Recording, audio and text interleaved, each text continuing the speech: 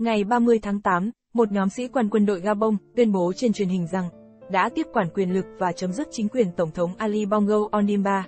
Trong thông báo, các sĩ quan cho biết Tổng thống Ali Bongo đang bị giam tại nhà, trong khi con trai nửa đanh Bongo Valentin cùng một số cố vấn bị bắt giữ với cáo buộc làm phản, biển thủ, tham nhũng và làm giả chữ ký Tổng thống, cùng nhiều cáo buộc khác, theo AFP.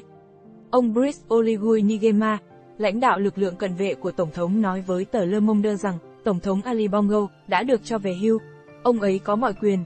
Ông ấy là một công dân.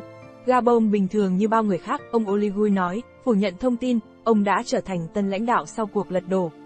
Trong một đoạn video được phát sóng trên truyền hình nhà nước trước đó, ông Oligui được hàng trăm binh sĩ tung lên và hô to, Oligui, Tổng thống. Về lý do ông Ali Bongo bị lật đổ, ông Oligui nói có sự không hài lòng tại Gabon, bên cạnh đó còn vì vấn đề bệnh tình của vị lãnh đạo. Ông ấy không có quyền tiếp tục nhiệm kỳ 3.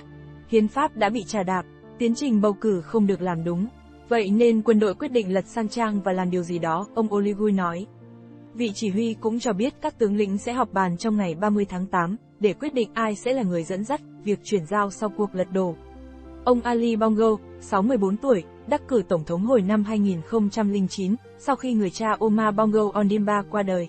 Ông Omar cầm quyền tại quốc gia giàu dầu mỏ, nhưng còn nghèo khó tại khu vực Trung Phi trong suốt 41 năm trước đó. Năm 2018, ông Ali Bongo bị đột quỵ và phải vắng mặt để điều trị trong 10 tháng, gây khó khăn cho việc đi lại và nói chuyện sau này. Xuất hiện trong một đoạn video lần đầu tiên từ khi bị giam giữ, Tổng thống Ali Bongo kêu gọi những người bạn trên khắp thế giới lên tiếng. Ông cho biết ông và con trai cùng vợ bị giam ở những nơi khác nhau. Tôi đang ở nhà và không có điều gì xảy ra. Tôi không biết chuyện gì đang xảy ra. Tôi kêu gọi các bạn lên tiếng, ông nói.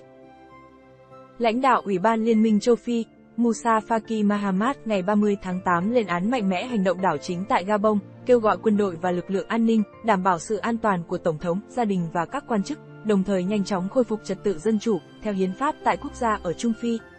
Pháp lên án cuộc đảo chính quân sự và mong muốn kết quả bầu cử được tôn trọng. Mỹ cũng như Nga bày tỏ quan ngại sâu sắc và nói sẽ theo dõi sát sao tình hình. Trung Quốc kêu gọi các bên giải quyết bất đồng, thông qua đối thoại và đảm bảo sự an toàn của Tổng thống Ali Bongo.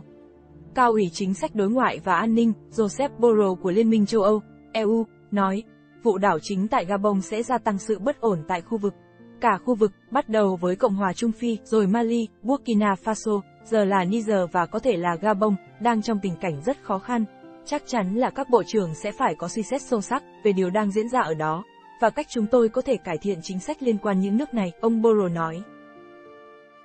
Cảm ơn các bạn đã xem bản tin.